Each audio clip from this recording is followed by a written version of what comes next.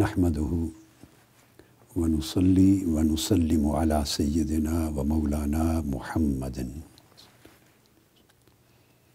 रसूल नबील अमीन मकीन हनीन करीम रऊफ़रहीम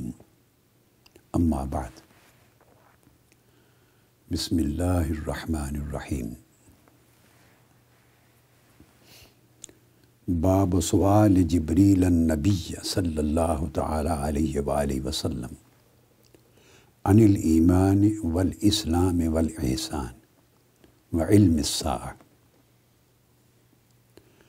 व बयान नबी सल्लल्लाहु तआला अलैहि वालैहि वसल्लम लहू थुम्मा क़ाल जा जबरील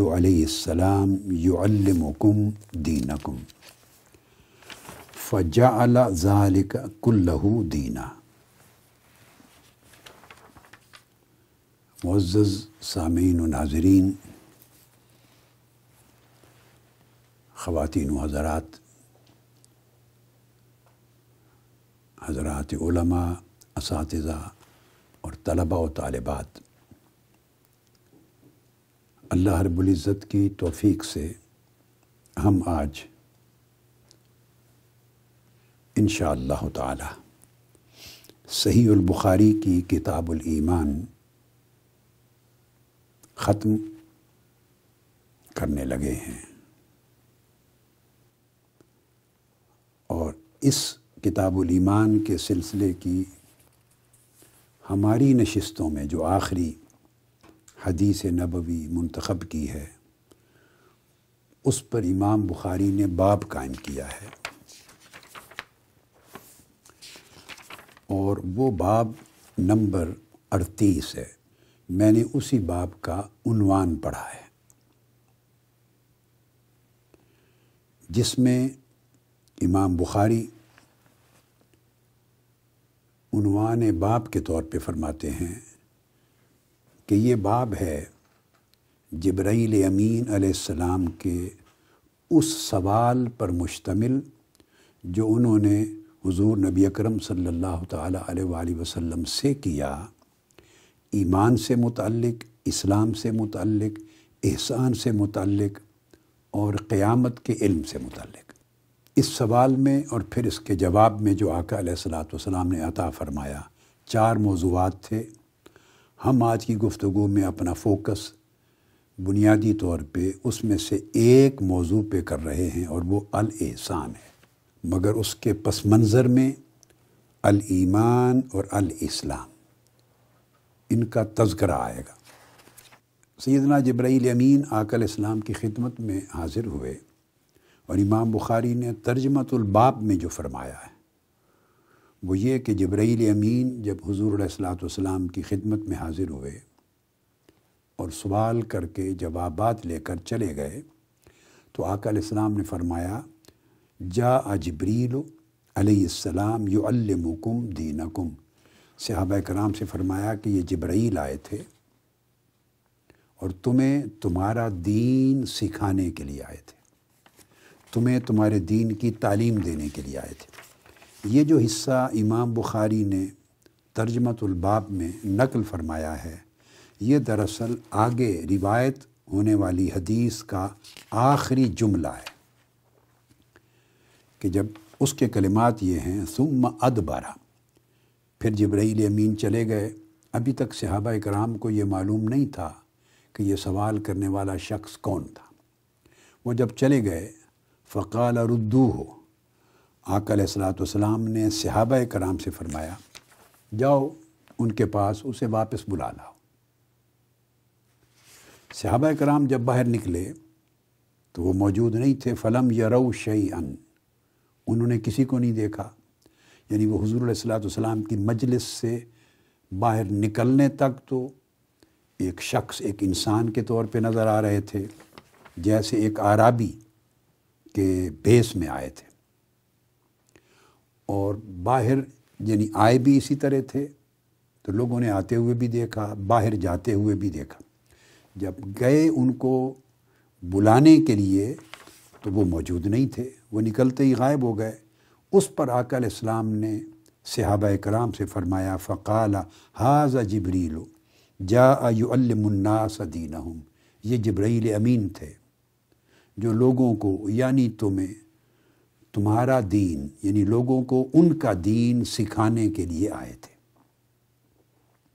ये जो आखिरी हिस्सा हदीस है, इसको इमाम बुखारी ने तर्जमतुलबाब में अपना मफहूम वाज करने के लिए नकल फरमा दिया। और फिर इमाम बुखारी ने इसके बाद अपना कंक्लूजन दिया है। वो बड़ा तवज्जो तलब है। फरमाते हैं, अब ये इमाम बुखारी के अल्फाज हैं। फ़जा अला ज़ाल का कुल्लहू दीना। इमाम बुखारी फरमाते हैं कि हुजूर सलाम ने जब ये फरमाया तो गोया ईमान, इस्लाम और एहसान, और आगे इल्मसा ये सारा जो कुछ पूछा गया था, ये इल्म के मुख्तलिफ़ मरतबे थे, मुख्तलिफ़ स्टेजेस थी, मुख्तलिफ़ दायरे थे। आकर इस्लाम ने फरमाया कि इन तमाम दायरों को और इन तमाम मरातब को हुजूर इस्लाम ने दीन बना दिया। इनको दीन डिक्लेयर कर दिया। अब दीन सिर्फ़ उन सब्जेक्ट्स पर मुश्तमिल नहीं रहा जिसका उनवान ईमान है। दीन फ़कत उन सब्जेक्ट्स का मजमू उसका नाम नहीं रहा जिसका उनवान इस्लाम है। बल्कि उसके बाद जो एक रूहानी हालत और कैफियत के कमाल का ज़िक्र किया है, उसको भी आकल इस्लाम ने एन दीन करार दिया। और फिर आकल सलाम ने आलामसा बयान फरमाई, अलामत तो उसका इल्म भी दीन का हिस्सा करार दिया, क्योंकि उसके इल्म से इंसान के अंदर तकवा पैदा होता है, उसके शूर से। इंसान गुनाहों से बचता और आखिरत की रगबत पैदा करता। ये तर्जमतुलबाब है। अब हदीस जिसको खुलासता मैंने अर्ज़ कर दिया, उसके कुछ रेलिवेंट हिस्से जो आज के मौजू में हमारे फोकस बनेंगे, वो मैं पढ़ देता हूँ। तो इस हदीस को मुसद्दद ने रिवायत किया हदसना मुसद्दद काल हदसना इसमाईल बन इब्राहीम अखबराना अबू हयान अतईमी अन अबी ज़ुरा अन अबी हुरैरा रज़ी अल्लाह तन काल कान नबी सल्लल्लाहु अलैहि वसल्लम बारज़न यौमन लिन्नास फ़ाताह जबरील फ़काल मल ईमान ये हदीस बाद में भी आई है कई मकामात पर इमाम मुस्लिम ने भी रिवायत की है मुतफ़ अलह है और मुख्तलिफ़ मौजूद जो इसके अंदर आए हैं, उनकी मुनासबत से इमाम बुखारी भी इमाम मुस्लिम रिवायत करते हैं, इसको जगह जगह पर। आपने पूछा, या रसूलुल्लाह, ईमान क्या है? सैदना जब्राईल अमीन सवाल कर रहे हैं। और जैसे कि अर्ज़ कर चुका हूँ, और हजूर सलाम ने सहाबा कराम से फ़रमाया कि जब्राईल अमीन आसमाम ख़ुद जानने की गरज से नहीं आए थे कि उन्हें मालूम नहीं था कि ईमान क्या है, इस्लाम क्या है, एहसान क्या है। वो आए थे साइल बनकर ताकि मैं सवाल करूँ, आका सलाम जवाब दें और इस सवाल और जवाब से सहाबा कराम की मजलिस को मारफत हासिल हो, इसका इल्म हासिल हो। और इसके शूर में और इसकी सूझबूझ में और समझ में उनके अंदर मज़ीद गहराई तमक और पुख्तगी और वसअत पैदा। तो पहला सवाल किया मल ईमान। इमाम मुस्लिम जब रिवायत करते हैं, यही हदीस किताबुल ईमान में और उस किताबुल ईमान का नंबर है नौ। हदीस का नंबर, इमाम मुस्लिम की सही में किताबुल ईमान के अंदर हदीस नंबर नौ। तो वो इस्लाम के लफ्ज़ को पहले लाते हैं जब्राईल अमीन के सवाल में।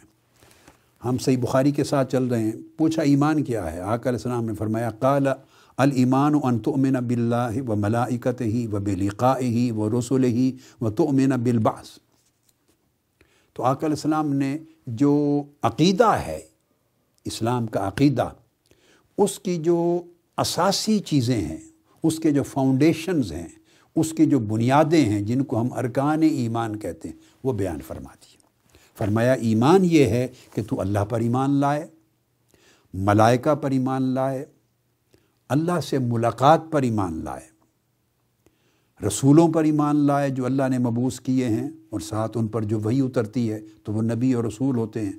और तू इस बात पे ईमान लाए कि मरने के बाद फिर तू जी उठेगा। तेरी दोबारा बास होगी और क़्यामत के दिन हशर व नशर होगा। हिसाब व किताब के लिए तुम्हें दोबारा ज़िंदा किया जाएगा। तो ये वो बुनियादी कवायद हैं, अरकान हैं, जिनके ऊपर हमारा अकीदा उस्तवार होता है। कायम अकीदे की इमारत कायम है। तो ईमान के जवाब में आकर इस्लाम ने अकायद के उसूल बयान फरमाए। उसके बाद पूछा, काला मल इस्लाम इस्लाम क्या है? काला, अल इस्लाम अनता अबुदल्ला वला तुशर कभी व तुकीम सलात, व तो अद्दी ज़क़ात अलमफरूदत व तसूम रमदान उन्होंने पूछा, इस्लाम क्या है? आकर इस्लाम ने फरमाया, इस्लाम यह है कि तू अल्लाह की इबादत करे और उसमें कोई शिरक ना करे। और बाज़ और रिवायात में, यानी ये है तोहद और रिसालत की तस्दीक ही नहीं, बल्कि शहादत देना। तो इसको बयान कर दिया। तो ये तोहद को ज़िंदगी में नाफिज करना और तोहद और रिसालत की शहादत देना। और तू अपनी ज़िंदगी में नमाज़ों को कायम करे, इकामत सलात और मुकर्रा मफरूज़ा, फ़र्ज़ की गई ज़क़़त को पाबंदी से हमेशा अदा करता रहे। और माह रमज़ान के रोज़े रखे। अब आपने देखा, इस रिवायत में जो इमाम बुखारी इस मुकाम पर लाए हैं, इसमें हज का ज़िक्र नहीं आया। तो इसका माना ये ना समझ लें, जिसकी नज़र में सिर्फ़ एक हदीस आई हो, ये मैं मुख्तलिफ़ मौाक़े पर बताता रहा हूँ कि इल्म कुल्लियत का नाम है। तमाम मुतल ज़रूरी मबास को जमा करके एक टोटेलिटी और कुल्लियत के तौर पे जब पढ़ते हैं तो आपको मुकम्मल और सही पिक्चर सामने आती है। एक हदीस में बाज़ात रुवात ने जो बयान किया, इमाम बुखारी पाबंद हैं उस कदर बयान करने के। वो अपनी तरफ़ से हदीस में इजाफ़ा नहीं कर सकते, ना ही कोई और इमाम हदीस का इजाफ़ा कर सकता। दूसरे मुकाम पर जिस तरीक से हदीस आई है तो उसमें हज करना भी ज़िक्र आ गया। तो लिहाजा जब उन रावियों से हदीस को रिवायत करेंगे तो उसमें हज का ज़िक्र करेंगे। ऐसा नहीं कर सकते कि उनके इल्म में है एक और तरीक से, एक और सनत से कि इसमें हज करना अल्लाह के घर का, वो भी इस इस्लाम के बयान करदा कवायद में था और मौजूद है। तो वहाँ से उठा के इस सनत के साथ रिवायत होने वाली हदीस में डाल दें तो बात तो सही है, गलत नहीं फरमा रहे, मगर चूँकि इस सनद और तरीक से साबित नहीं, लिहाजा उसमें कमी बेशी नहीं कर सकते। जो मतन, जो टेक्स्ट जिस सनद और तरीक से साबित होगा उस सनद की रिवायत में वही बयान किया जाएगा, ये उसूल है।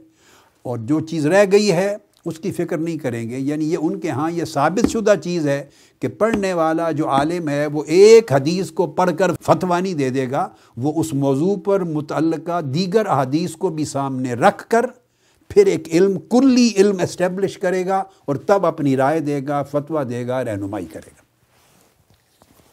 अगर एक ही हदीस से या किसी एक मुकाम पे जुजवी सा इल्म लेकर तो पूरा कुल्ली इस्लाम बता देना जायज़ होता तो यहाँ तो हज ही निकल गया फिर अरकान इस्लाम में से। ऐसा नहीं होता। तो ये इरशाद फरमाया, फिर सैदना जब्राईल मीन ने तीसरा सवाल किया, मल एहसान एहसान क्या है? काल अंत अबुदल्लाह का अन्न का तराह।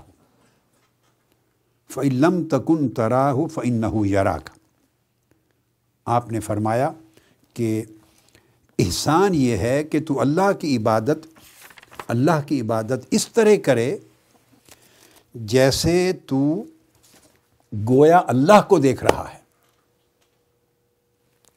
फ़ैलम तकुन तरा हो फ़ैन नहू यरा का और अगर तो इस कैफियत को न पा सके, तेरे कल्ब और बातिन की कि इतनी तथहीर इतनी सफ़ाई, इतना तज़किया नफ्स का और इतने दिल का इतना तस्फिया, इतना तखलिया और इतना तहलिया। यानी दिल और बातिन इतना साफ़ न हो कि तेरा हाल यहाँ तक पहुँच जाए कि तू ये फ़ील करे कि गोया तो उसकी अनवार व तजलियात को देख रहा है। हुसन उलूहियत का मुशाह कर रहा है।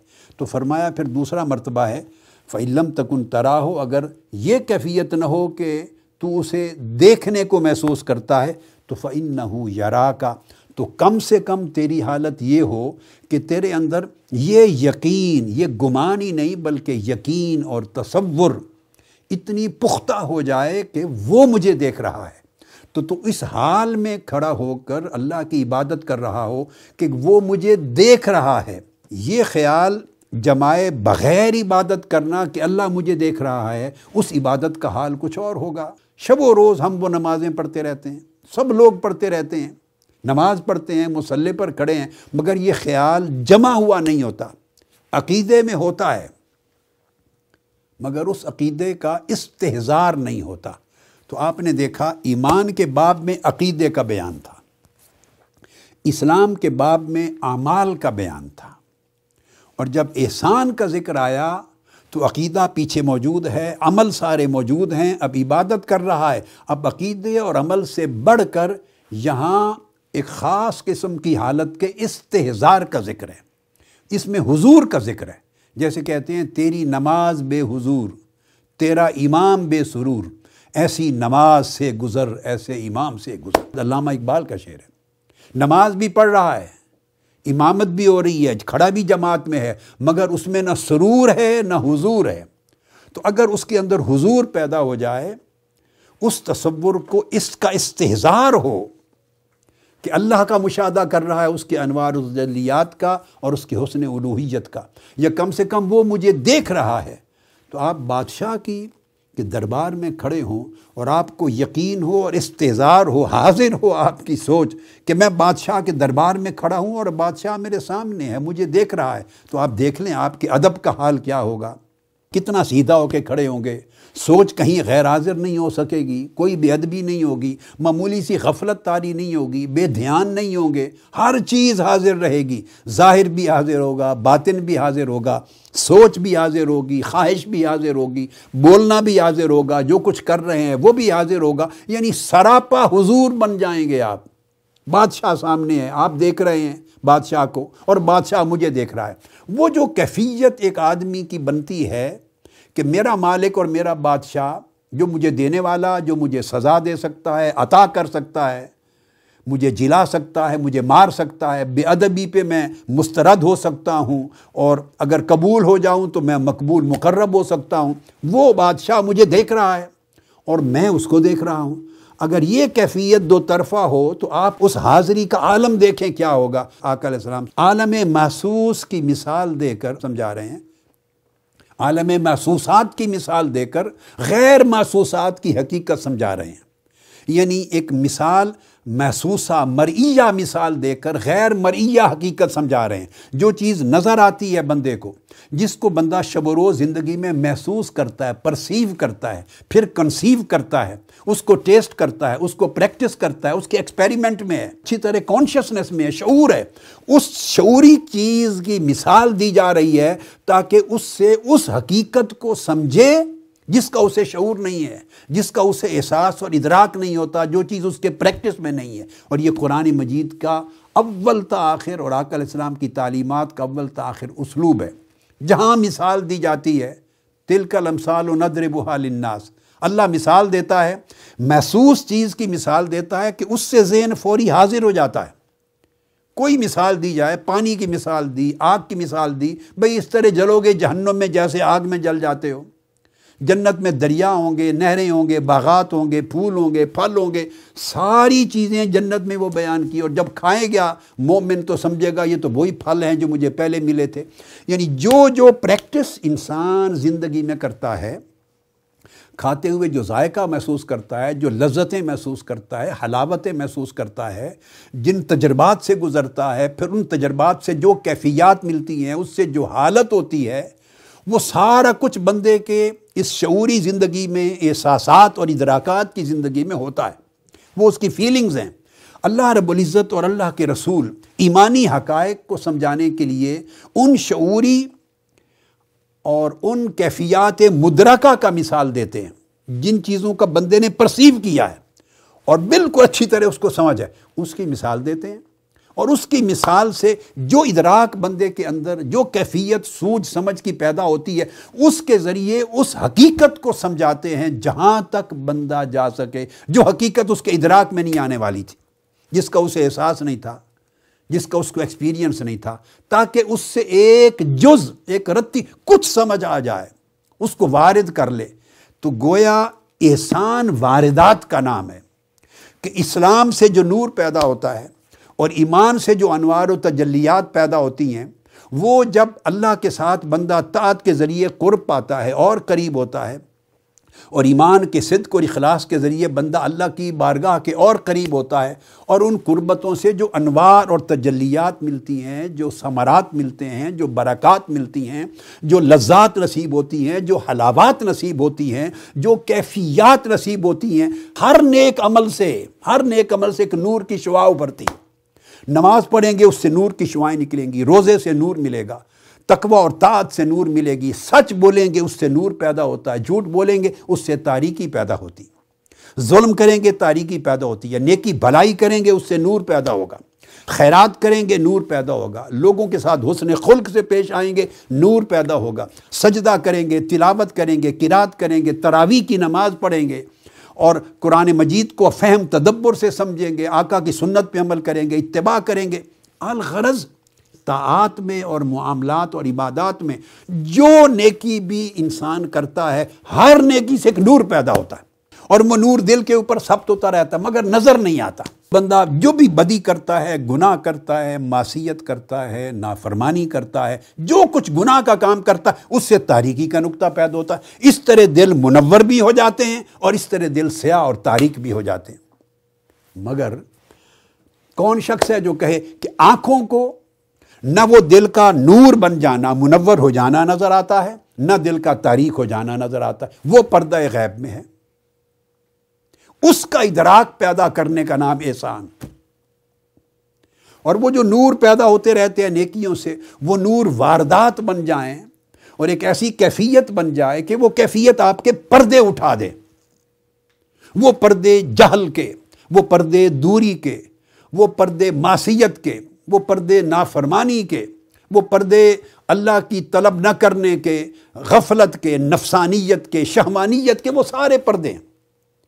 वो नूर अगर रफ्ता रफ्ता इतना मज़बूत और मुस्तकम हो कि वो सारे पर्दे उठा दे। जब पर्दे उठते चले जाते हैं, उठते चले जाते हैं तो गोया अनवार व तजलियात की झलक आदमी देखना शुरू करता है और उनकी वारदात की कैफियत को महसूस करना शुरू करता है। ऐसे जैसे सुबह सूरज तुलू होने के करीब आता है और रात जाती है तो आप देखते हैं कि वो फूट रही हैं शुआएँ। मशरक़ की तरफ़ सूरज के तुलू से काफ़ी पहले थोड़ी सुबह काजिब तुलू होती है, सुबह सादिक तुलू होती है, फिर उजाला आता है, रोशनी आती फिर सूरज निकलता है, फिर उसके बाद सूरज की शुआएँ निकलती हैं, फिर धूप होती है तो उजाला होना शुरू हो जाता है। ये मरहला वार नूर मरहला वार कल्ब के मतला पर, कल्ब के जो जो हराइजन है, मतला पर मरहला वार तात नेकियाँ, इबादत, सिद्क, इखलास, तकवा, परहेजगारी, खलूस, भलाई, खैरात, ये सारे अमाल सालिया नूर पैदा करते चले जाते हैं। और वो दिल का जो मतला है, उसके ऊपर वो सूरज है जो अल्लाह की मारिफत का, अल्लाह की कुर्बत का, वो सूरज, वो आहिस्ता आहिस्ता ऊपर आने लगता है। वो जो नीचे बहुत गहराई में था, जिसने रात बना रखा था, जो जो ऊपर आने लगता है तो रोशनी फूटने लगती है। वो रोशनी कल्ब के मतला पे फूटती है, आरिफों को नज़र आती है। वो अल्लाह वालों को नज़र आती है। और फिर वो नूर फूटता नज़र आता है और वो देखते हैं कि अभी सुबह काजिब है या फजर सादिक हो गई है। अभी सूरज निकल आया है और क्या खुश नसीब हैं वो लोग जिनके मतल कल पर ईमान का सूरज तुलू हो चुका होता है। फिर इशराक का आलम होता है, फिर चाश का आलम होता है, फिर निसफ नहार का आलम होता है। तो इस तरह तुलू भी होता है और बदमालियों की वजह से गुरूब भी होता है। जब गरूब की तरफ़ जाता है तो साफ़ ज़ाहिर है, फिर अंधेरा रफ्ता रफ्ता छाने लगता है, उसकी शुआ कम होने लगती है, फिर रात आ जाती है। तो हमारे दिल के आसमान पर भी कभी दिन होता है, अमाल सालिया के बायस, और कभी रात होती है, अमाल सैया, गुनाहों के बायस। उसका इदराक करना यह है कि गोया तो रब को देख रहा है। और अगर ये कैफियत ना कर सके तो कम से कम तेरी कैफियत इतनी तुझे वहाँ तक ले जाए कि तेरे ऊपर ये तस्वुर तारी हो जाए कि मेरा मौला मुझे देख रहा है। फिर भी तू बेअदबी नहीं कर सकेगा। ये वो हदीस है। अब इस हदीस के हवाले से चूँकि ईमान के मौजू पर हमारी गुफ्तु हो चुकी है, मेरी पूरी किताब भी है, आप पढ़ लेंगे, मारफत ईमान, इस्लाम और एहसान पर। एक अरबी में है, उसका तर्जमा आजकल हो रहा है तो इन छप जाएगी। तो ये जो आकल इस्लाम ने फरमाई तीसरी चीज़, चूँकि किताबुल ईमान शुरू करते हुए सही बुखारी की, जो पहला मेरा दर्स था, वो ईमान और इस्लाम के मौजू पर था, पूरा एक दर्स मैं इस पर दे चुका हूँ। और फिर सारी किताबुल ईमान ही मुकम्मल करके हम आ रहे हैं, जो आज ख़त्म करने लगे हैं। किताबुल ईमान ही पढ़ी है। तो उसमें जगह जगह पिछले आलमोस्ट बाईस या तेईस हलाकात जो किए हैं, ईमान और इस्लाम को ही बयान करते रहें। सो इसके अंदर अभी बताने, कहने का बहुत कुछ और है। बहुत कुछ और है। मगर मैं इस्लाम और ईमान की बहस को, चूँकि समेट रहा हूँ, एहसान पर गुफ्तु पहली बार आई है। तो आज ही की नशस्त है तो मैं एहसान पर कर रहा हूँ बात। तो अब ये बात जहन में रख लें कि आप अपने जिस्म को एक रियासत समझ लें तो इस रियासत में एक आपका दिल है और एक आपका जिस्म है। दिल बादशाह है रियासत बदन का। जिस्म, हाथ, पाँव, टांगें, सर, सारा कुछ जिस्म, ये उसकी रियाया है और ये उसके लश्कर हैं। ये उसके लश्कर हैं। ये इस बादशाह के कहने पर जब कल्ब बोलते हैं, ये जहन में रख लें तो अब कुतुब में कल्ब और अक्ल बाज़ात मुतरदफ़ के तौर पर भी यूज़ होता है। एक ही माना के लिए दो लफ्ज़ हैं। दिमाग और चीज़ है। दिमाग वो उज्व है जो ब्रेन जिसको कहते हैं, वो सर के अंदर उसकी जगह है। और दिल जिसको कहते हैं, हार्ट, वो एक उज्व है जो सीने के अंदर है। कल्ब और अक्ल से मुराद। कल्ब से मुराद न ये लोथड़ा है जो सीने में है, और अक्ल से मुराद न वो ब्रेन है, जिसके ऊपर लोग न्यूरो फिजिशियन बनते हैं और न्यूरो सर्जन बनते हैं, वो दिमाग है।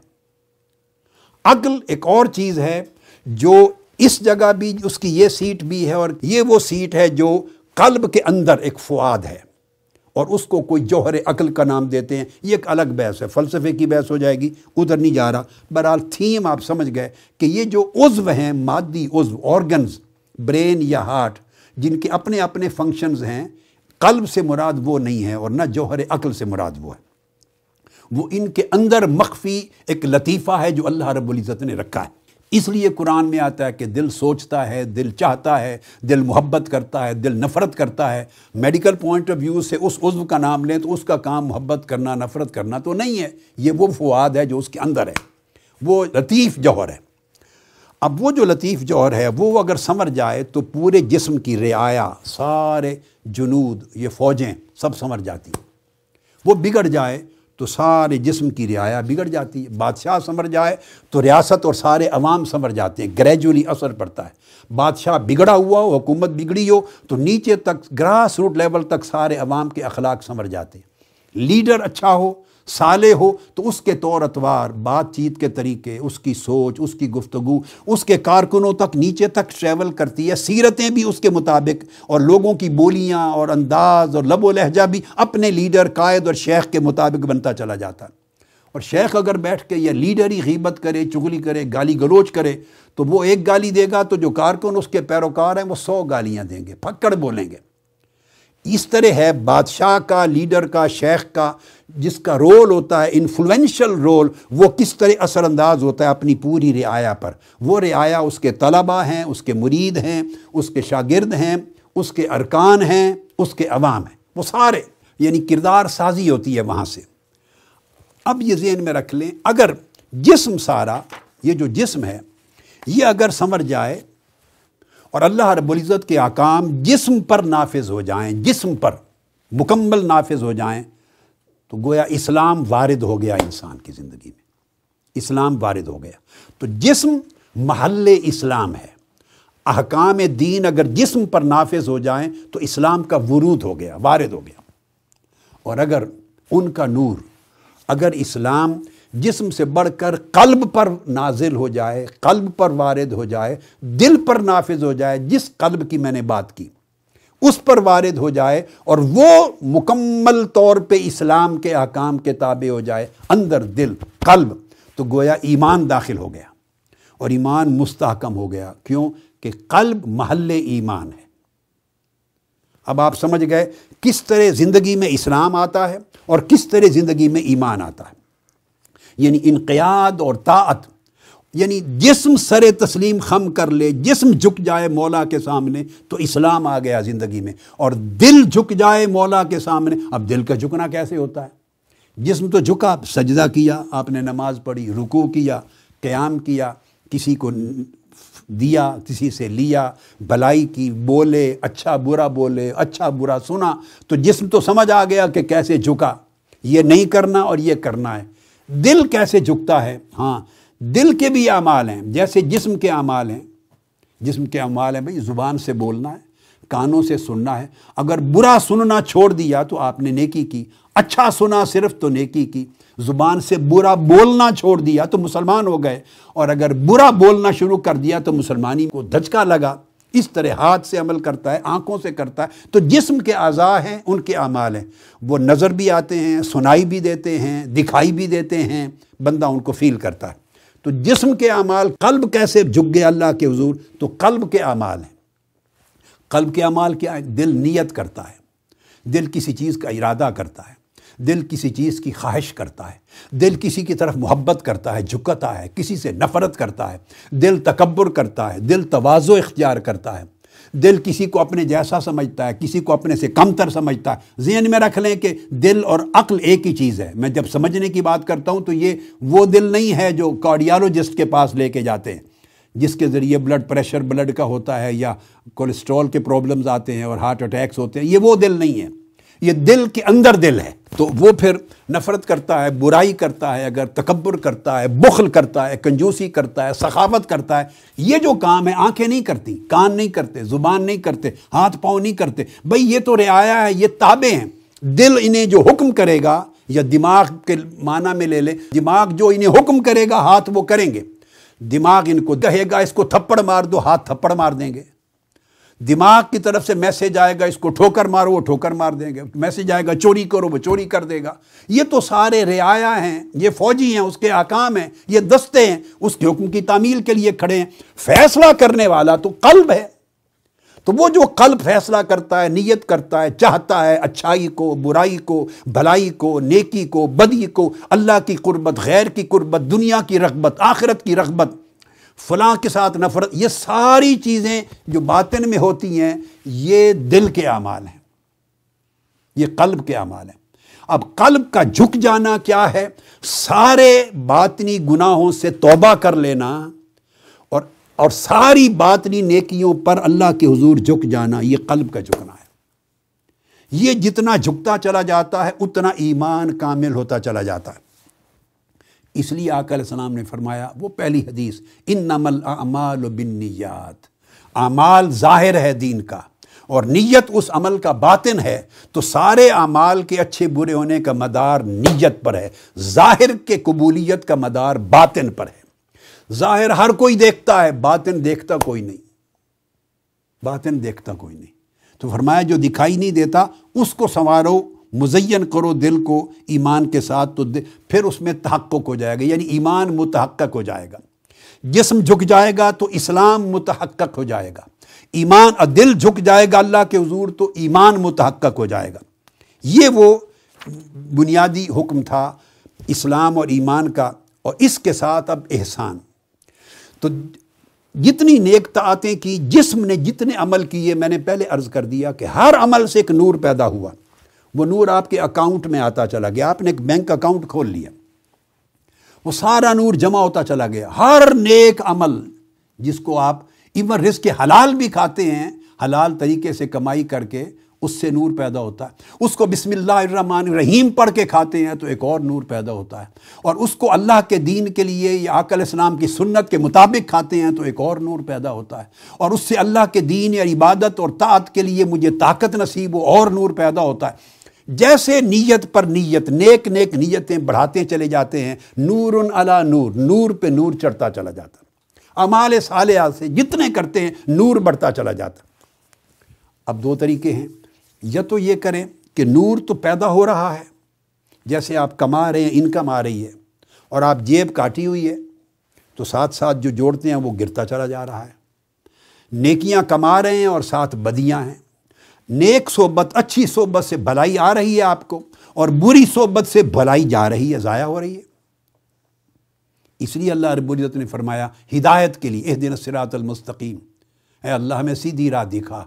अल्लाह पाक ने दो शर्तें लगा दी, कि नेक सोहबत में जा और बुरी सोहबत से बच। नेक सोहबत में जाने का हुक्म एक बार दिया सिरातल्लजीन अनअमत अलैहिम। सीधी राह उन लोगों की है जिन पर तूने इनाम किया।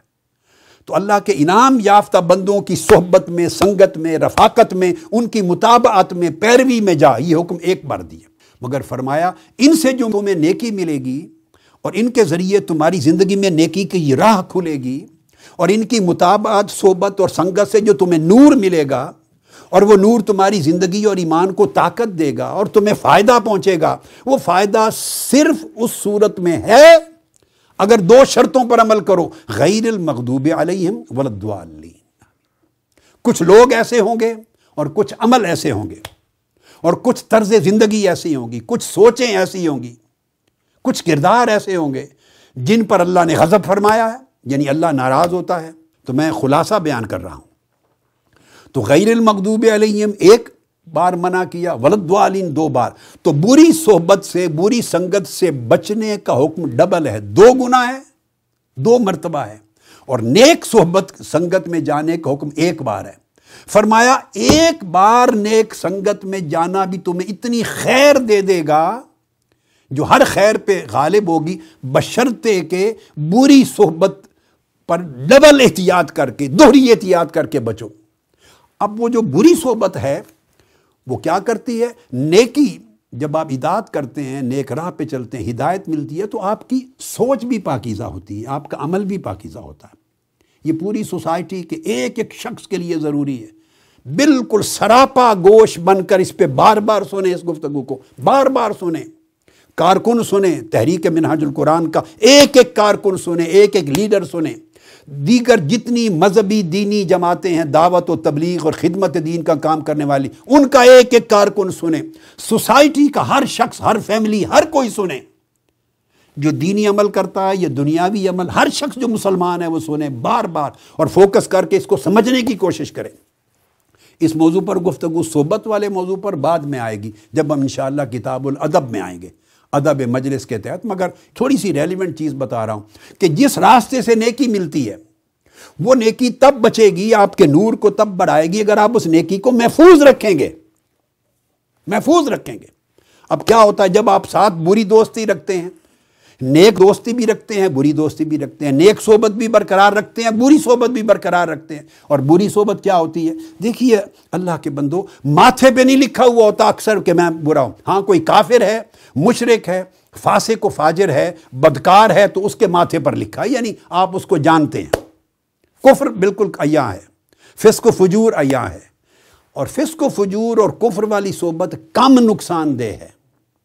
कम नुकसानदेह है। इसलिए कि आपको पता है कि यह कुफर पे है, ये फिस्क फजूर पर है, ये अल्लाह के दीन का बागी है, नाफरमान है, बुराई का मुरतकब होता है। आप जानते हैं, सो आप बदीहन उससे बचने की कोशिश करेंगे। हत्तलमुसा बचेंगे। जब बचने का फ़िक्र आपको लगा रहेगा तो आप फिर नुकसान से बचेंगे। उससे ज़्यादा नुकसानदेह उस शख्स की सोबत है, जो ना काफिर है, ना फासिक को फाजिर है, ना उसका गुना अया है, ना उसकी बदकारियाँ अया हैं। देखने में मोमिन है, मुसलमान है, नेक आदमी है, बड़ा आदमी ठीक है, और आप अच्छी राय रखते हैं। देखने में ठीक है, तभी तो आप उसकी सोबत और मजलिस में बैठेंगे। बेखौफ होकर बैठेंगे, फिर वो बात करता है आपसे। जब बात करता है तो वो उसमें सुए जन पैदा करता है। उसमें बदगुमानी पैदा करता है। उसके ज़रिए कानों की राह से गुनाह आपके अंदर जाता है। जहाँ से आपको खैर मिल रही थी, उस जगह के बारे में सूए जन पैदा करता है। जहाँ से आपकी तात और ईमान मज़बूत हो रहा था, उस खैर के चश्मे के बारे में बदगुमानी पैदा करता है वो शख्स। या वो सोबत, या वो दोस्ती, या वो संगत। जहाँ से फैज मिलना है, वहीं सुबह जन, वहीं डसता है, वहीं जड़ काटता है। आपका उधर का फैज आना बंद हो जाता। है जू सूए जन का एक जरसूमा, एक वायरस, एक बैक्टीरिया दाखिल हुआ। उधर सोहबत से फैज का आना बंद हो गया, इधर का रास्ता खुल गया। तो वो आपको, कभी उसकी सोहबत गफलत पैदा करती है, कभी उसकी सोबत रिलैक्स करती है दीन में, कभी उसकी सोबत दुनिया की चाहत और मोहब्बत को बढ़ाती है, कभी दीन की तात में गफलत पैदा करती है। कभी अल्लाह से, कभी अल्लाह वालों से दूर करती है, कभी खैर से दूर करती है, कभी शर गालिब करती है। और वो ऐसा नहीं है कि आपको ऐसे दो, चार, तीन महीनों में पता चल जाए। बाज़ कतरा गिरता रहता है, पत्थरों में साल हा साल के बाद सुराख होता है। मुद्दतों के बाद वो सोहबत रफ्ता रफ्ता शर को बढ़ाती रहती है, खैर को घटाती रहती है। तो जब इस दिन इधर से हिदायत और खैर और नेकी तात ईमान की मजबूती मिल रही थी। इधर से साथ शर आ रहा था, बदगुमानी आ रही थी सुबह जन आ रहा था, गफलत आ रही थी। नेकी को कमज़ोर करने वाले दायात आ रहे थे, सुन रहे थे, देख रहे थे, मानूस हो रहे थे। नतीजतन इसका असर भी गया और फिर शर गालिब आ जाता। इसलिए दर्जा क्या फरमाया? एहसान।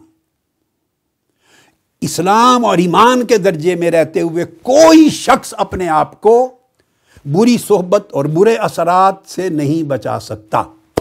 जहन में रख ये बचना उसको नसीब होता है जब कोई शख्स इस्लाम और ईमान के दर्जों से तरक्की करके दर्ज एहसान में चला जाता जब तक वो शख्स मुस्लिम है, वो बुरी सोहबत के असरात से, गुनाहों के माहौल के असरात से मासीतकारी और नाफरमानियों के माहौल के असरा से आप टीवी को सुने, बुरी चीज़ों को देखें, बुरी मजलिस में बैठें, बुरी दोस्तियों में बैठें, बुरे माहौल में बैठें, मेल मिलाप बुरा रखें, जहाँ हर वक्त दुनिया की बात है, हिरस की बात है, हवस की बात है, माल दौलत की बात है, फ्रस्ट्रेशन की बात है, डिस्टर्बेंस की बात है, शर की बात है सुवे जन की, बदगुमानी की बात है, गीबत की है, चुगली की है, चौबीस घंटे ये बातें सुने और समझें आपका ईमान भी सलामत रह जाए। ऐसा कभी नहीं हो। ये कायदा कुल्लिया ही नहीं है दीन का।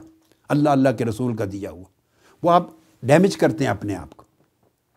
मरीज़ है, आप दस सेब रख लें, सेहतमंद ठीक, एक गला हुआ सेब हो, दस ठीक सेब मिल के एक गले हुए सेब को दुरुस्त नहीं कर सकते। एक गला हुआ सेब दस के दस सेबों को गला सकता है। सिंपल सी बात है। सेहतमंद आदमी और मरीज़ आदमी को बैठा दें। सेहतमंद आदमी का कोई बैक्टीरिया नहीं जो मरीज़ को सेहतयाब कर सके, ठीक कर सके। मरीज़ अगर मुतदी मरज में मुबतला है, वो सेहतमंद को मरीज़ कर सकता है। मरीज़ सेहतमंद को मरीज़ कर सकता है, सेहतमंद मरीज़ को सेहतमंद नहीं कर सकता। यह निज़ाम एक कुदरत है यह कानून फितरत है। हम इस मसले पर बहुत 99 परसेंट ठोकर खाते हैं अपनी ज़िंदगी में। कभी फोकस ही नहीं कर, परवाह ही नहीं करते। हर आदमी अपने ऊपर एतमाद करता है। नहीं, मुझे कौन बहका सकता है? मुझे कौन फिसला सकता है? ये जो मुझे कौन बहका सकता है, यही गुमराही है। इसी में बंदा मार खाता है। इसी में मार खाता है। तेज रफ्तार ड्राइवर गाड़ी चलाने वाला ही एक्सीडेंट में मारा जाता है। आहिस्ता मोहताज चलने वाला एक्सीडेंट से बच जाता है। ओवर कॉन्फिडेंस बंदे को मरवाता है। जो कल की नशिस्त में मैंने बात की थी कि तीस के तीस से हवा हज़रत इबन अबी मुलैका कहते हैं, मैं मिला, हर कोई डरता था कि कहीं मुनाफिक ना हो जाऊँ। ये ईमान है कि हर वक्त ख़तरा रहे और बंदा अपनी हिफाजत करता रहे। तो बंदा जब तक समझ लें, हालत इस्लाम में रहता है, हालत ईमान में रहता है, वो बच नहीं सकता। उस पर हमले ताकतवर होते हैं शैतान के, नफ्स के, दुनिया के, मकर के। बचते वो हैं जो हालत इस्लाम से तरक्की पाकर, हालत ईमान से तरक्की पाकर, एहसान के दायरे में चले जाते हैं। एहसान में मज़बूत हो जाते हैं मुस्तकम हो जाते हैं। उनको अल्लाह रब्बुल मुखलसिन से उठाकर मुखलसिन में दाखिल कर लेता है। वो मुखलिस नहीं रहते, मुखलस हो जाते हैं। जब अल्लाह पाक उन्हें नफ्स और शैतान के चुंगल से निकाल देता है, मज़बूत, महफूज, हिसार, कला बंद कर देता है उनके ईमान कला बंद। फिर वो महफूज होते हैं। वो दर्जा एहसान है। वो दर्जा एहसान है। और एहसान से पहले तकवा की मंजिलों में से गुजरना पड़ता है। याद रख लें एहसान का ज़िक्र कुरान मजीद में कि किस तरह अल्लाह रब्ज़त ने फरमाया अउज़बिल्लिनशैतवानरजीम इन मल्लजीन वल्लजीन मोहसिन फिर अल्लाह पाक अपनी मैयत दे देता है उनको जो मुत्तकी हो जाते हैं और वो लोग जो एहसान वाले हो जाते हैं। तकवा के बाद एहसान की मंजिल आती है। तकवा के बाद एहसान की मंजिल आती, याद रख लें बंदा मोहसिन हो जाए तो फिर खौफ व ख़तर से महफूज होता है। फरमाया अल्लाह रब्ज़त ने, सूरह बकरा में, मन असलम वजह वह हुआ मोहसिन जो शख्स अल्लाह के हजूर ज़ाहिर बातिन में झुक गया उसकी रज़ा के लिए, खालिस हो गया, उसकी ज़िंदगी, उसका दीन, तात, और फिर वो दर्जा एहसान को पा गया, मोहसिन बन गया। फ़लहू अजरहू इन दरबी वला खौफ़न अलहम वला या जनून वो फिर अल्लाह के पास से खसूसी अजर है, फिर वो खौफ और हजन से महफूज कर दिया जाता।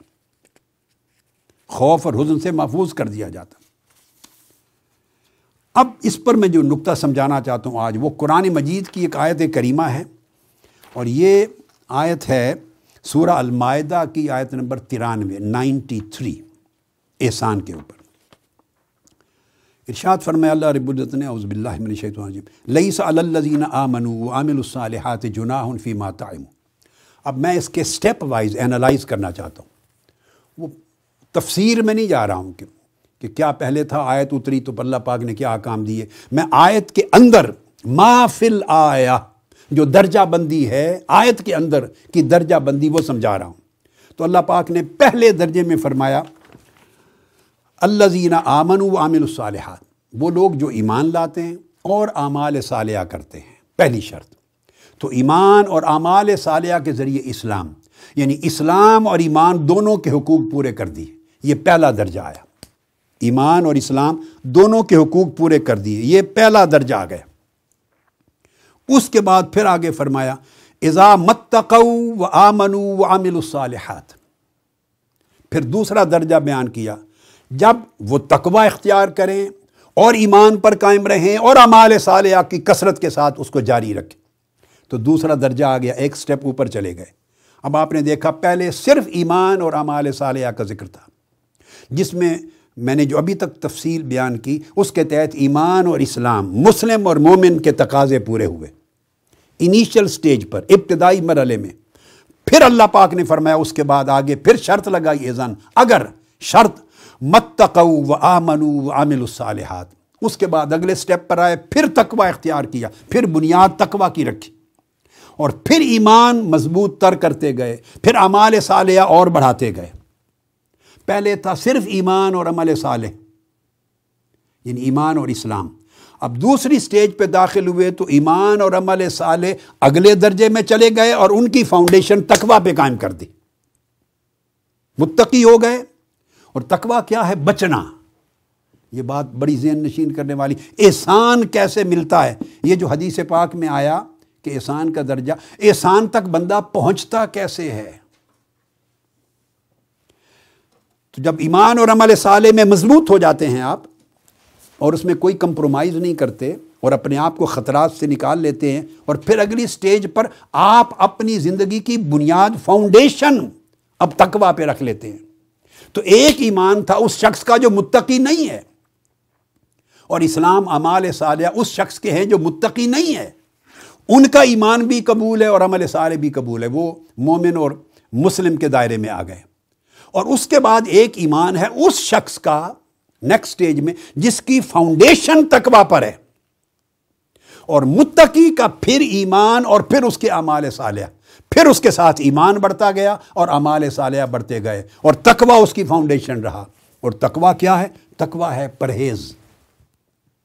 तकवा का माना है बचना। अब देखिए, ईमान का माना है मानना। ईमान का माना है मानना। अमल साले का माना है नेकी करना। ईमान मानना। अमल करना और तकवा बचना। हमने ज़िंदगी के, ईमान के तस्वुर के अपनी समझ, हर एक की अपनी अपनी समझ है। हर बंदा मुफ्ती है मुजतहद है, आलिम है। अपने बारे में खुद बेहतर फैसला करता है। हर बंदा अरस्तू है, अफलातून है। बदकिस्मती है। हिदायत नहीं लेते। कुरान से, सुन्नत से अहलुल्ला से, अहले मारिफत से। तो ये कि तकवा, ईमान फिर कह रहा हूँ, है मानना, अमल है करना, और तकवा है बचना। अगर बचना ना हो तो मानना और करना किस काम गया? बर्बाद हो गया। अब इसलिए अगली स्टेज ये आई, फरमाया, अगली स्टेज में फाउंडेशन चेंज हो जाएगी। अब फाउंडेशन है बचने पर।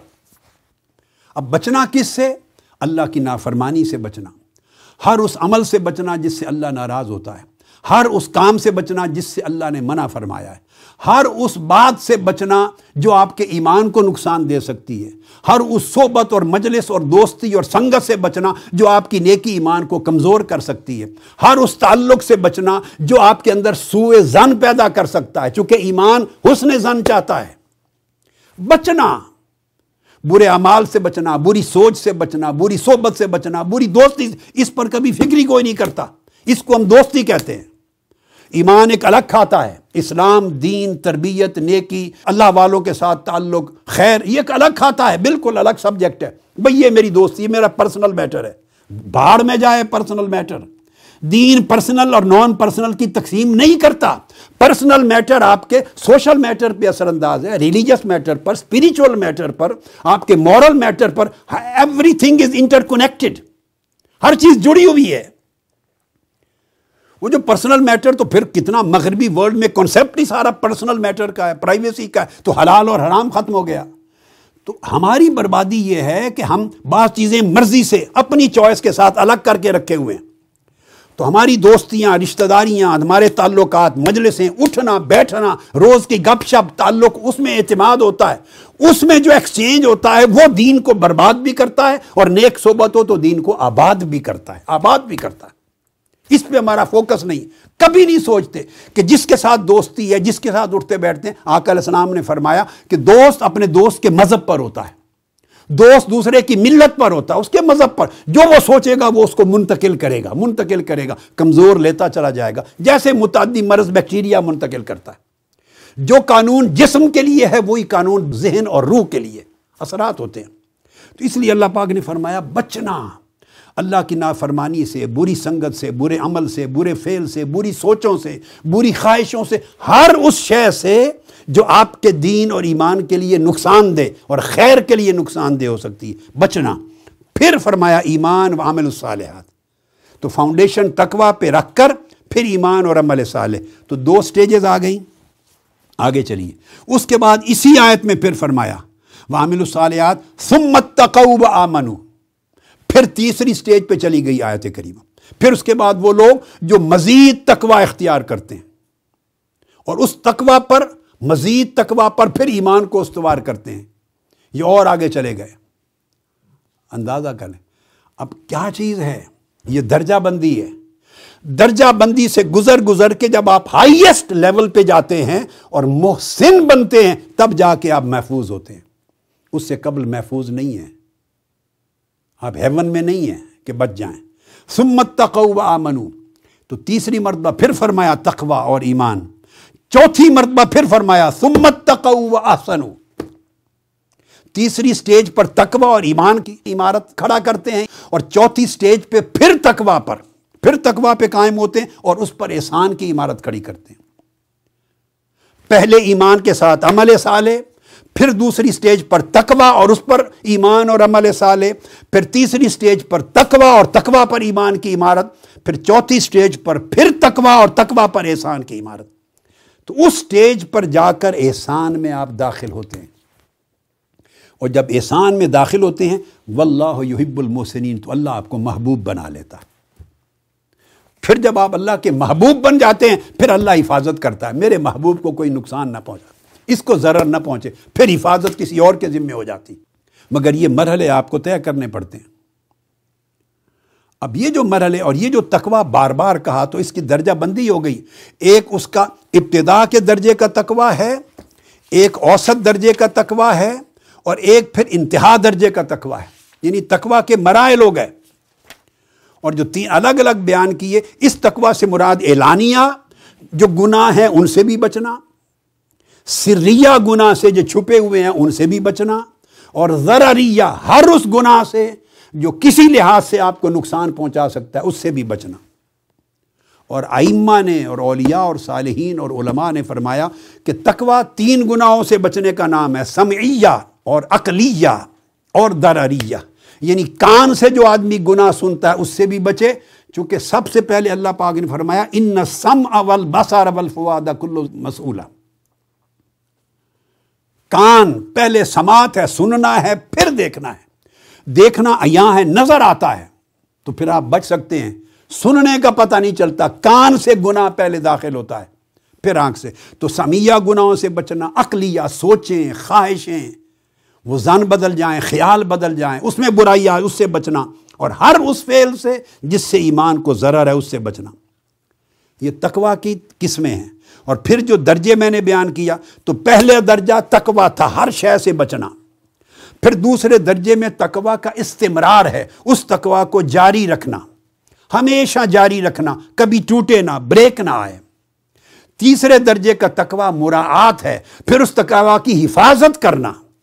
एक है तकवा इख्तियार करना, एक है तकवा को जारी रखना। तीसरा दर्जा है तकवा की निगेबानी करना, मुराआत, तीसरी मरतबा। हिफाजत करना उस तकवा की। और चौथी स्टेज है फिर तकवा का सिबात, कि उसके ऊपर इस्तेकामत रखना। निगेबानी करना और उसके ऊपर इस्तेकामत रखना। इसलिए आप कुरानी मजीद की आयत पर आए, इसमें सुम्मत तको सुम्मत तको, यानी सुम्मा सुम्मा सुम्मा के लफ्ज आए फिर उसके बाद तकवा, फिर उसके बाद तकवा। क्या वजह है? अल्लाह पाक का कलाम है, आपका और मेरा कलाम नहीं कि ऐसे ही सुम्मा सुम्मा लगा दिया। नहीं। अल्लाह रबुल्ज़त दर्जा बंदी फरमा रहे हैं। जब तक ये सारी सीढ़ियाँ चढ़ के, इन मरहलों को अबूर करके आप दर्जा एहसान में दाखिल नहीं हो जाते और अल्लाह आपको मोहसिन में शामिल नहीं कर लेता, उस वक्त तक आप अल्लाह की खसूसी हिफाजत के हिसार में नहीं आते। तो जब अल्लाह की हिफाजत के हिसार में आते हैं, तब आप बच जाते हैं। अब इसको कुरानी मजीद ने सूरा बकरा की आयत नंबर एक सौ पचानवे में एक और तरीके से भी बयान किया, मैं उसको एक्सप्लेन करता हूँ। फरमाया उज़बिल्लामिन शैतवानजी वानफ़िकू फ़ी सबी अल्लाह ने जो सलाहियत तुम्हें दी है, जो इस्तेदाद दी है, जो मलका तुम्हें दिया है, जो एबिलिटी, जो टैलेंट, माल दौलती नहीं, हर चीज़, जो कुछ तुम्हें दिया, अल्लाह की राह में खर्च करो। अल्लाह के दीन के लिए खर्च करो, खैर के लिए खर्च करो। पहला हुक्म आ गया, ये इन्फाक है उमूमी। फिर फरमाया, उससे आपको अजर मिलेगा, आपको अल्लाह की कुर्बत मिलेगी, सवाब मिलेगा, आपका ईमान मज़बूत होगा। मगर एक शर्त है, क्या? वला तुलकू बेदी को मिलतहलुकत इर्शाद फरमाया, मगर शर्त यह है कि तुम जो इसबाब हलाकत हैं, उनकी तरफ़ न जाओ। इन्फाक से, खैर का काम करने से और अपनी सलाहियत को खैर के लिए खर्च करने से अल्लाह पाक की तरफ़ से अजर मिलेगा, ईमान मिलेगा, इस्लाम मिलेगा, तकवा मिलेगा, भलाई मिलेगी। मगर शर्त क्या है? शर्त यह है कि इसबाब हलाकत की तरफ़ ना जाओ। वला तुल्कु बेदी को मिलता का अगर साथ तुम खैर ख़रीदते रहो इधर से इधर से हलाकत के इसबाब लेते रहो तो तुम बर्बाद हो गए। आज कमाई की, शाम को लुट गए। गेन किया, इधर से उड़ा दिया। जुआ है ये ये ज़िंदगी। इसमें दीन और ईमान की हिफाजत नहीं। अल्लाह पाक ने शर्त लगाई है कि इधर कमाओ, इधर हलाकत से बचो। जिन जराए से आपकी तबाही हो सकती, नुकसान हो सकता है, नेकी कम हो सकती है, कमज़ोर हो सकती है नेकी। नेकी की जगह से कट सकते हैं आप, उससे बचो, उसको तहल्लुका फरमाया, हलाकत के इसबाब है। दो शर्तें लगा के फरमाया, उसके बाद वाह से फिर एहसान में जाओ।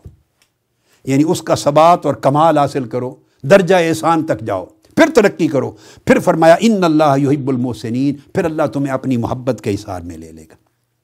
अल्लाह पाक मोहब्बत फिर फरमाएगा ये जो बुनियादी चीज़ अल्लाह रबुल्ज़त ने शाद फरमाई,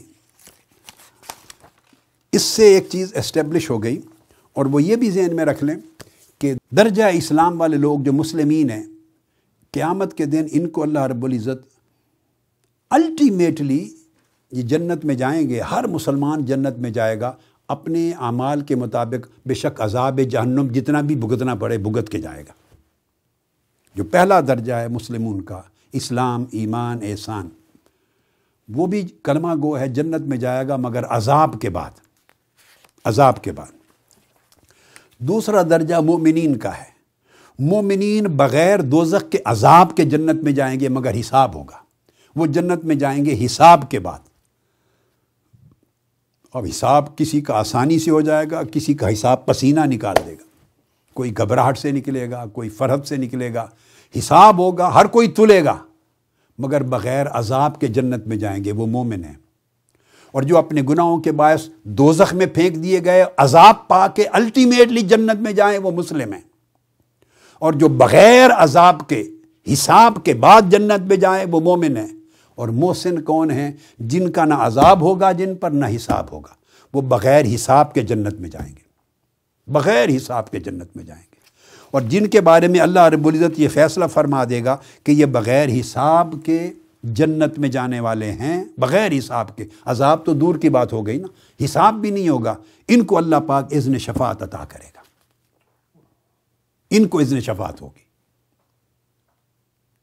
जो बेचारे खुद फंसे हुए हैं, जिन, जो खुद तुल रहे हैं, जिनके हिसाब किताब तुल रहे हैं और मुश्किल से पास हो रहे हैं वहाँ से, वो नहीं। जिनके बारे में अम्र हो जाएगा कि इन्होंने ज़िंदगी ऐसी गुजारी है कि इनके हिसाब भी ना लो, बग़ैर हिसाब के जन्नत में जाएँगे। तो जब बग़ैर हिसाब के जन्नत में जाएँगे तो अल्लाह पाक उनको शफात का इज़्न देगा। आकल सलाम ने फरमाया, अबू सईद खुदरी रज़ी अल्लाह तु हदीस के रावी हैं। तिरमज़ी की हदीस है, हसन सही आका ने फरमाया, जिस शख्स ने हमेशा हलाल खाया, मन अकला तय्यबन व अमिल फ़ी सुन्नतिन, और हमेशा मेरी सुन्नत पर चला, व अमिन नास बवाक़हू और हर शख्स उसके शर से महफूज रहा।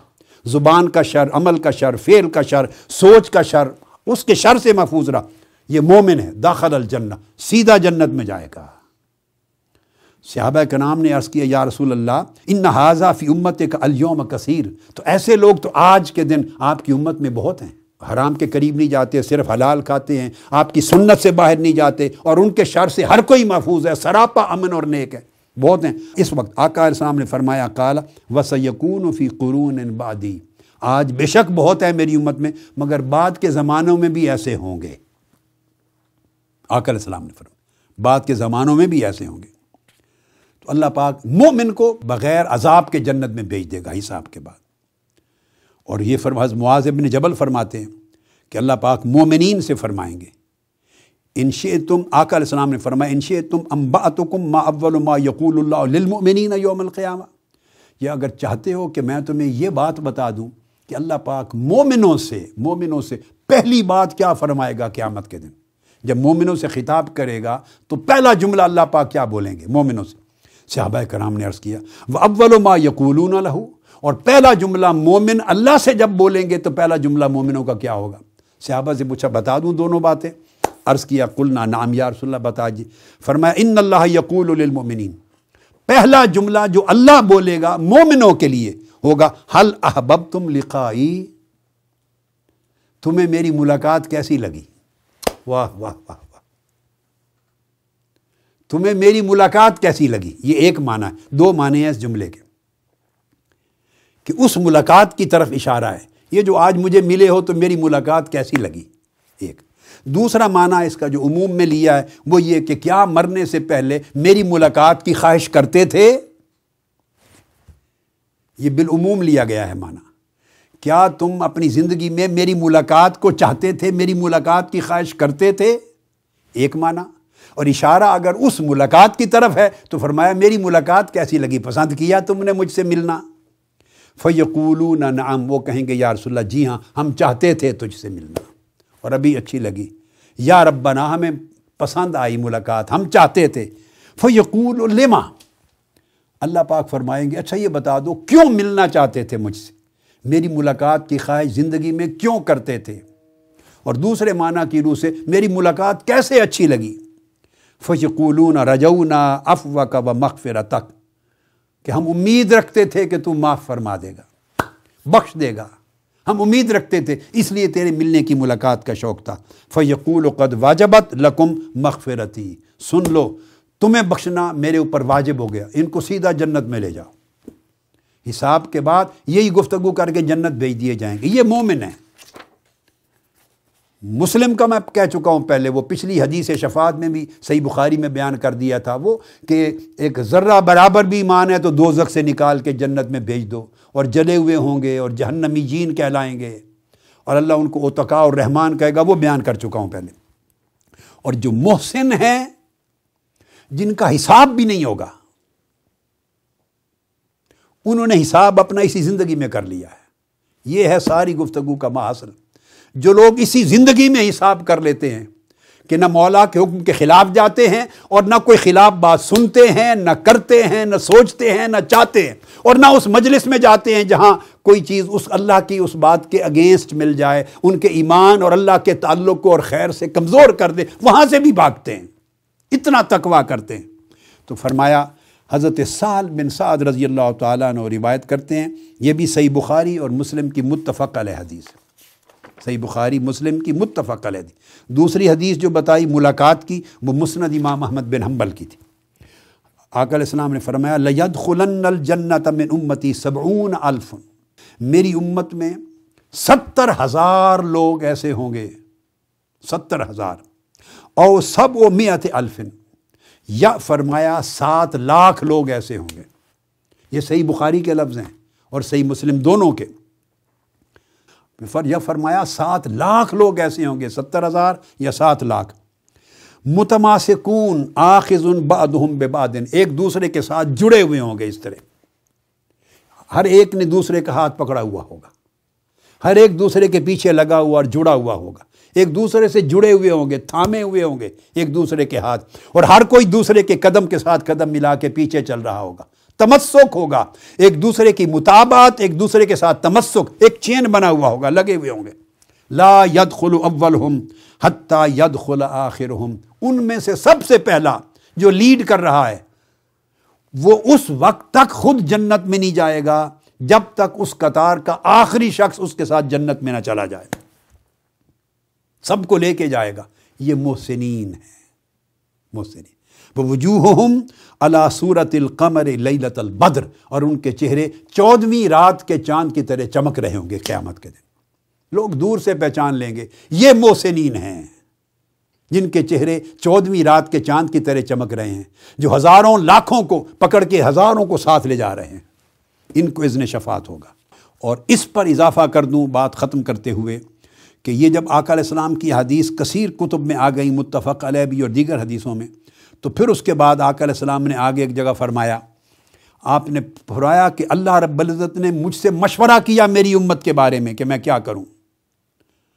और फरमाया, मेरे महबूब, मैं आपकी उम्मत के बारे में आपको गमज़दा नहीं करूँगा। और जो पहली बिशारत मेरे अल्लाह ने मुझे दी, वो ये कि आपकी उम्मत में सत्तर हज़ार लोग ऐसे होंगे। और मैंने पिछली सही बुखारी के वाले से कहा, यह सात लाख लोग जो बग़ैर हिसाब व किताब के जाएँगे। और लोगों को भी लेके जाएँगे। अब उसके साथ आगे हदीस मुसनद अहमद बिन हम्बल में है मुसन्फ़ इबन अबी शैबा में, तिरमज़ी इबन माजा में हदीस सही। हज़रत अबू बकर सिद्दीक रज़ी अल्लाह तु हदीस के रावी हैं। आपने फरमाया कि हजूल इस्लाम ने फरमाया फ़स्त तो रब्बी। जब अल्लाह ने फरमा दिया कि सत्तर हज़ार लोग ऐसे होंगे या सात लाख लोग ऐसे होंगे जो लेकर जाएँगे, और पहली हदीस में कि उन हर एक हज़ार में वो लोग ऐसे होंगे सत्तर हज़ार कि वो हर एक हज़ार के साथ फिर सत्तर सत्तर हज़ार शफात के साथ जाएँगे। वो सत्तर हज़ार होंगे और उनमें से एक एक हज़ार ऐसा होगा कि हर हज़ार के साथ फिर सत्तर हज़ार, अगले हज़ार के साथ फिर सत्तर हज़ार, अगले हज़ार के साथ फिर सत्तर हज़ार, हर हज़ार शख्स का ग्रोह सत्तर हज़ार इजाफी साथ लेकर जाएगा। आकर इस्लाम ने यह फरमाया। और अब ये हदीस जो इस वक्त कोट कर रहा हूँ सैदना सिद्दीक अकबर रज़ी अल्लाह तु से मरवी इस्लाम ने जब ये बात सुन ली, अल्लाह का वादा कि मेरे हबीब, ये वादा है मेरा तो फस तजत तो रब्बी, मैंने अर्ज़ कर दिया, मेरे मौला, मेरी उम्मत के लिए और बढ़ा। इस करम को और बढ़ा, अर्ज़ किया और बढ़ा। तो अल्लाह ने मेरी दरख्वास्त कबूल कर ली। एक हदीस में आता है, तीन रातें आकल बाहर नहीं तशरीफ़ लाए। सहाबा इंतज़ार करते रहे। पूछा तो फरमाया, अल्लाह ने मुझसे वादा कर लिया था, मैं सजदा रेज हो गया और मैं अर्ज़ करता रहा, फस, मेरे मौला और बढ़ा और बढ़ा और बढ़ा। अल्लाह पाक ने मेरी बात सुन ली तो अल्लाह पाक ने फ़जादनी माकुल्ल वाहिदिन सबीन अल्फ़ा। फरमाया, वो जो सत्तर हज़ार हैं, मेरे हबीब, उनमें से एक एक को ऐसा कर दूँगा कि एक एक शख्स अपने साथ, तनहा एक शख्स सत्तर सत्तर हज़ार लेकर जाएगा। एक शख्स। सत्तर हज़ार की शफात करके साथ लेके जाएगा। यह हदीस मुसनद अहमद बिन हम्बल में है, ये जो मैंने आपको अर्ज़ की। हज़रत अनस ने रिवायत किया, हज़रत अब्दुलरहमान बिन अबी बकर ने भी रिवायत किया, हज़रत अमर बिन हज़म ने रिवायत किया, हज़रत आमिर बिन हुमैर ने रिवायत किया। मुसनद अहमद में, अबू याला में, बाज़ार में, बहकी में दैलमी में मज़ीद जो लफ्ज़ हैं वो ये लकुल्ल रजुलिन सबून रजुला। उनमें से हर एक शख्स तनहा अपने साथ सत्तर हज़ार अफराद शफात के ज़रिए लेकर जाएगा। इसनाद हसन उन वलह शवाहिद कसीर। इसके इसनाद भी हदीस के हसन है और कसीर शवाहिद है। तो जब आदमी मरतबा एहसान में चला जाता है, जहाँ या वो अल्लाह के मुशाहदा में रहता है, उसकी तजलियात के मुशाहदा में, या मुराकबा में रहता है, या उसकी तजलियात को अपने कल्ब में देखता है, या उसकी तजलियात के हुजूर रहता है हर वक्त तो उसकी हिफाजत हो जाती है ईमान की। अल्लाह पाक उसको वो दर्जा अता करता है कि वो बग़ैर हिसाब के तो उसने जन्नत में जाना ही है, मगर अपने साथ उसको शफात के कोटे अता होते हैं। ये है, शफात है। तो आकल इस्लाम ने सैदना जब्राईल अमीन के ज़रिए जो इरशाद फरमाया, हदीस उसमें ईमान की तारीफ़ आ गई थी, इस्लाम की आ गई और फिर फरमाया था एहसान। और एहसान वो दर्जा है जिसकी तफसील अर्ज़ कर दी। इसकी और बहुत सारी तफसीलात हैं। आज की नशस्त में वक्त थोड़ा ज़्यादा हो गया। जितना कुछ वक्त में गुंजाइश थी, मैंने अर्ज़ कर दिया। अल्लाह रब्बुल हमें न सिर्फ़ मुसलमिन मोमिन की हद तक रखे, बल्कि हमारे ईमान में ऐसी बरकत दे कि मुत्तकीन बनाए और फिर मोहसिन में शामिल करें। वसलकम वरहमल वर्का सबसे पहले नई वीडियोस को हासिल करने के लिए शेखुल इस्लाम, डॉक्टर मोहम्मद ताहिरुल कादरी के ऑफिशियल यूट्यूब चैनल को सब्सक्राइब करें और बेल आइकन क्लिक करें।